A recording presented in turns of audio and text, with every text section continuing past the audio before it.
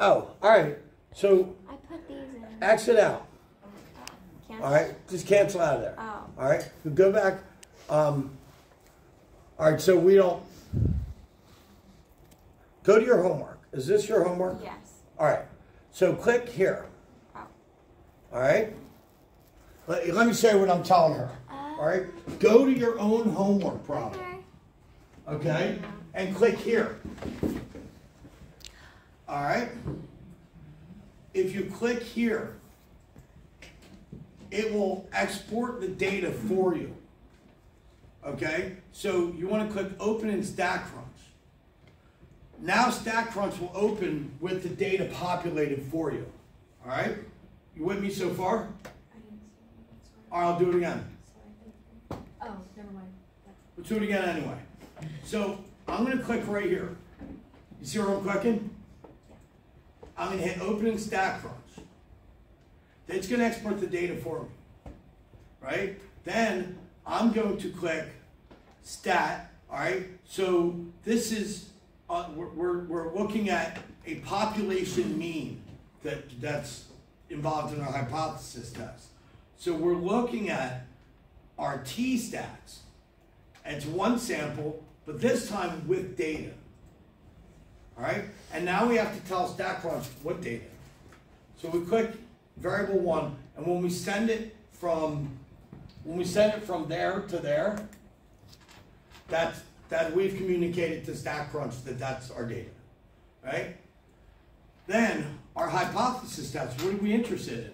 We're interested in um, whether the crash test is less than a thousand for the head in uh, head injury index. All right, and what is our our critical value? You want to click on the critical value because we want to see it. We have a significance of 0.05. Then we're going to compute our data. All right, there's our results. What the hell? You want me to back it up again? No, just, Okay. what the hell? Back it up. No, then you're doing, it's just, wow. That, that's why, what my, what the hell means, like, oh, okay, cool, I like it. Oh, gotcha. Yeah. Listen, I'm uh, I'm a man of a certain age. I, I don't I don't speak the uh, language of young people anymore. All right. All right. So let's do it again. It'll be so much fun. Tell all your friends. All right. Did you get it? Yeah. Yeah, how great is that, right? Yo, we got 11 days to get good at this too. And I'll be available. I'll be available. I only teach four classes next week. All right? So you can, another college. So you can reach out to me like all the time. All right, let's do it again. Day, ready? Mm, We yeah, have- yeah. We're, we're gonna have a, a real, a real shindig, real humdinger. All right, so I'm gonna click here because I wanna, oh, I want all the, I wanna send this data to StatCrunch. So I'm gonna send it to StatCrunch, and there's my data. So now I'm gonna go to Stat, and now I know we're, have a mean involved. So we want a T-stat. Then we got one sample, we have data, all right? So now I'm gonna tell StatCrunch, where's my data? It's in, it's in the var1 column. And then I'm gonna say, okay, what's my hy- hy- hypothesis test? Well, my alternate, or my null hypothesis is that it's equal to a thousand. My alternate hypothesis is that it's less than a thousand. Then we want to show the critical value. We have an alpha level of 0.05. Then we're gonna compute and dang, we are done, mm-hmm. right? So, and now we know how to read these rejection region things, right? Okay, so there's my critical value. Remember what I said to you about like the, the, the, the how much data? We only had 12. Is that really all we had?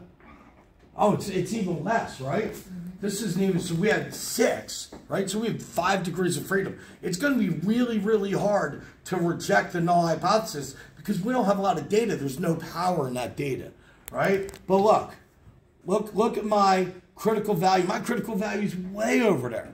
I got to be on the on the left of negative 2.02 ish, right? Rounded to, to two decimal places, right? So what's my test statistic? My test statistic isn't isn't falling in that rejection region. What what if the test statistic thing confuses me? All right, look at my p-value. What's my alpha level? My alpha level is 0.05.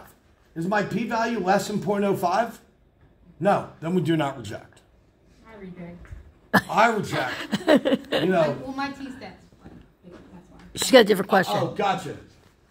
Um, yeah, so you're gonna have different data, right? Yeah. But um, it's hard to reject the null hypothesis when you have such a small data set.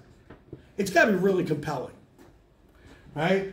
That's the, the smaller that, that number of samples, the more this t statistic moves. Like if it's left tail, the, the, the, the further and further away that critical t gets from the mean. Right? We don't have a lot of data. Got to be really compelling. It's got to be like off by a lot for six data, you know, points to to reject a null. It's got to be off by a lot. That's when we have small amounts of data. That sends that n, you know, that sends that that critical t further and further and further away from.